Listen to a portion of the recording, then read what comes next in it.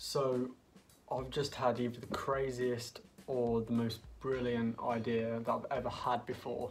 I popped up to Josh and asked him if his parents would let us go on a holiday together, just me and him, and he said, yeah, yeah, sure. So, this weekend, which is literally a day or two away, me and Josh are going away. I don't know how, I don't know where, but we're gonna do it and I'm gonna set myself this goal and set Josh this goal to try and organise it and I want to kind of film every step. So I guess this is the first step the idea and the planning. Um, I don't really know what I'm doing because I've never done anything like this before especially in such a small time length but let's do it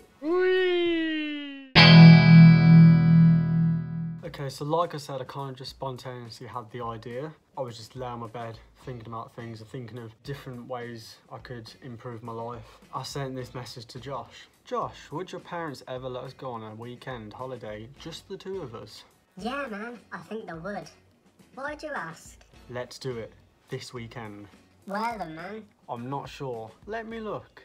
OMG, this is exciting. But mate, I haven't got any money at all. No! And like, we kind of just started discussing from there what we would do, how I'd get the money to him, how we'd pay for it, where we'd like to go, where would be easier. You'll see there that Josh straight away was up for it. He didn't have any kind of like, uh, uh straight, yeah, let's do it.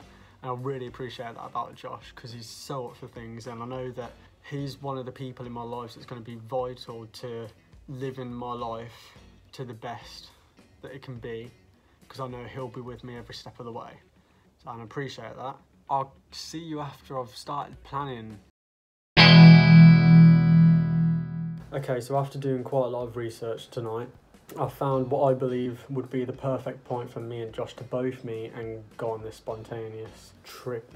So I live in Tamworth and Josh lives in Bournemouth and almost exactly in the middle of that is a little place called Oxford. It's pretty much an hour and a half away from both of us in car, but neither of us drive. We're both going to be getting the train and we'll be heading to Oxford Station. I've still yet to look at the prices for that. Hopefully it won't be too expensive. Can't imagine it would be because it's only an hour and a half away. I've also found a place for us to stay. I was originally looking at a place called Macdonald Randolph Hotel, which is like an eight star and it's really fancy hotel, but first of all it was really expensive and also they didn't really have any any hotel space for kind of two single men they only had a room for a couple basically they had one double bed so i was like uh, let's just try looking somewhere else because that was pretty much our first scout then we found the oxford townhouse they only have two rooms left the two single beds which has uh, breakfast included, free internet. So it seemed like a pretty good deal. The price isn't too bad for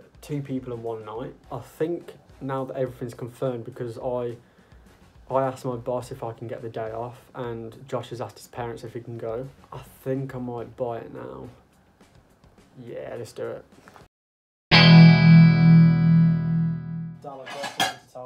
Me and Josh are gonna go away to Oxford for a overnight Right. When? this Sunday. This Sunday? Yeah, and it was planned today Damn. What are you going to Oxford for? because we wanted a spontaneous trip. Hmm, fair enough. Right, I'll have a good time then. Let us know when you get there. Thank you very much. See you later. See you later. Bye. Bye.